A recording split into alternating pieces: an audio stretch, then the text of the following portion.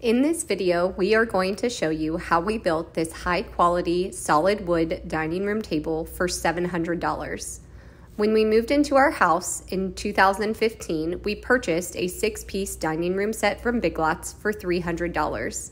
This dining set served us well for about seven years, but after our fifth child graduated from the high chair to a booster seat at the table, we needed a table that could sit our entire family of seven.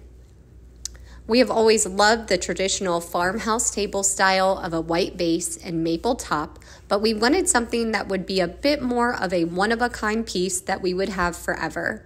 Now, we have built a lot of furniture with solid wood tops, and our favorite wood species is called spalted maple.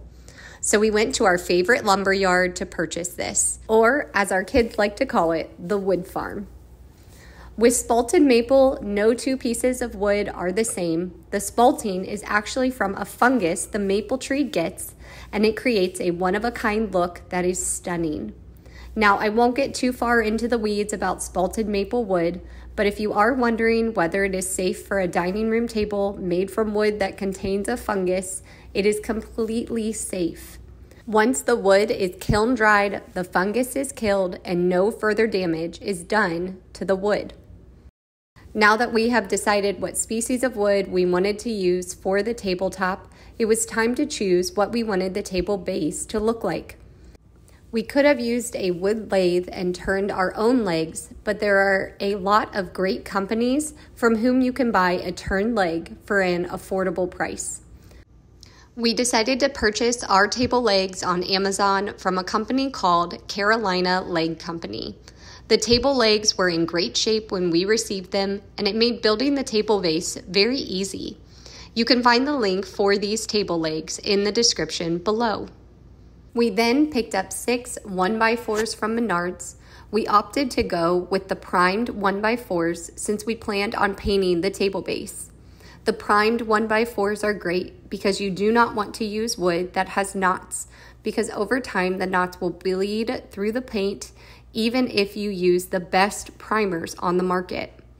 I wish we knew the knots would bleed through the paint because we read this somewhere online, but unfortunately, we have had to learn this from experience with a number of other projects. Menards is also one of our kids' favorite stores, so it usually turns into a family affair anytime we go there.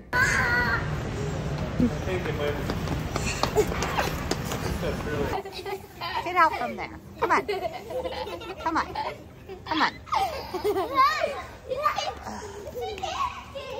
When it came to assembling the wood base, you can see we created a really cool honeycomb pattern, but I would not recommend creating a base with this pattern. We did this because we cut some of the 1x4s to an incorrect length and did not want to waste the wood and spend more money on wood for the base, which will never be seen. And the only tools that were needed for creating the base was a miter saw, a drill, an impact driver, and a pocket hole jig. As you can see from the photo of the base, the legs of the table are now attached. To do this, we first attached the 1x4s to the table legs using the pocket hole jig. From there, we simply attach the 1x4s for the inside bracing using the pocket hole jig. One thing to keep in mind while you are assembling the table base is what you want the reveal or amount of overhang to be for the tabletop. We thought it looked best with a one and a quarter to one and a half inch overhang all the way around. Our tabletop is 42 inches by 84 inches, so this meant we wanted the outside dimension of our table base to be 39 inches by 81 inches. Now that the base is fully assembled, we moved on to the tabletop. We purchased a significant amount more spalted maple than we needed for the project because the spalting in the maple boards is only in parts of each board. We knew we needed more boards because we were going to have to remove the sections that did not contain the spalting. The first thing we did was lay out our spalted maple boards on the floor and determine what we wanted the pattern to be for the tabletop. We didn't want it to look like we pieced together a bunch of random boards, so we carefully selected where we would make all of our cuts. The hardest part of making the dining room table was going to be joining these nine foot long boards so you do not see any glue seams in the tabletop.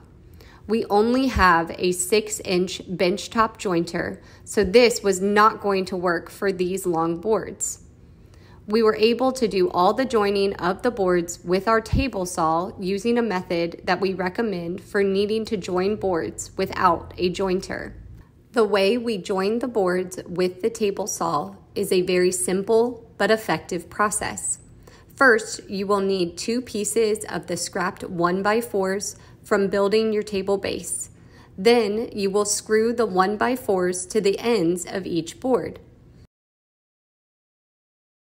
Next, set your table saw fence the same width as the board on the right side.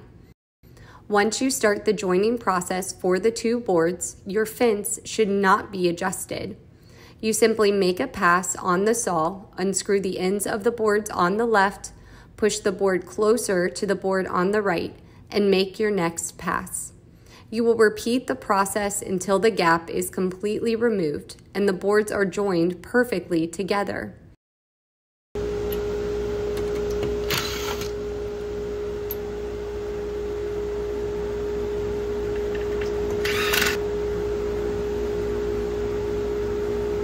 Now that the board on the right is joined with the right side of the board on the left, you will grab your next board and join the other side to the next board in your pattern. After all the boards are joined on the table saw, you will need to align the boards before gluing them. We use a dowel jig because we do not have an expensive biscuit joiner or domino joiner tool. You can purchase a cheap dowel jig like the Milescraft dowel jig we have on Amazon for around $20. This works great for providing alignment for glue ups and strength to the joints. Once all your holes are drilled for the dowels, you are ready to start gluing the boards.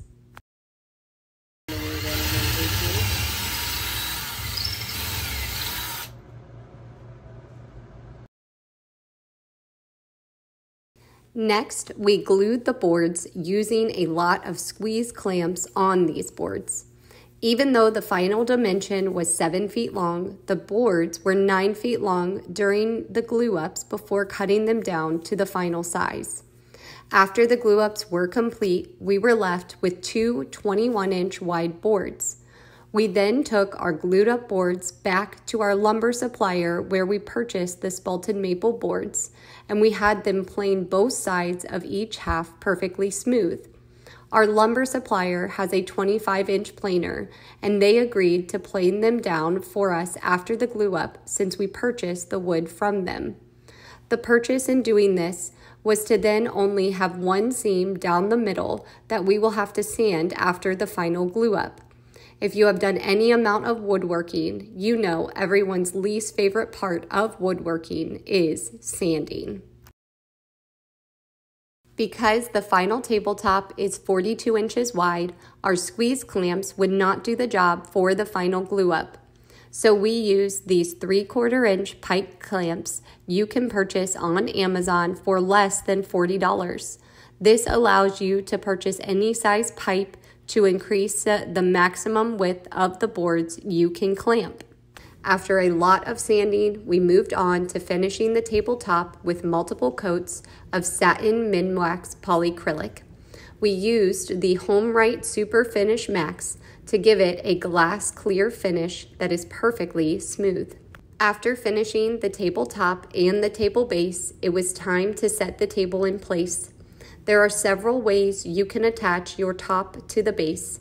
We chose to go with small steel L brackets that you can purchase from any hardware store.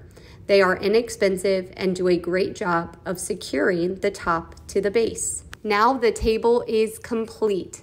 We were so thrilled with how the table turned out, and now we can fit our entire family at the table and still have one seat to spare. If you're wondering whether we made the chairs to go with the table, we did not. We found these solid wood chairs online by Better Homes and Gardens for $50 each. For solid wood, it would have cost almost that much to build each chair and would have taken longer to build the chairs than it would take to build the table. To make the table and chairs look like a set, we color matched the paint for the table base to the chairs.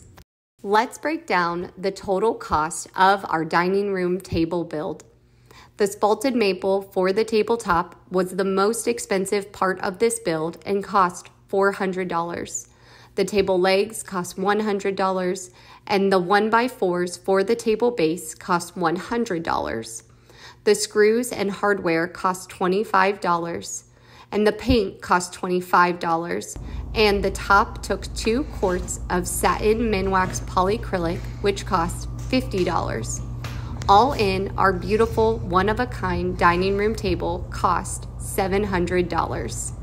Thank you so much for following along on this journey of building our one of a kind dining room table.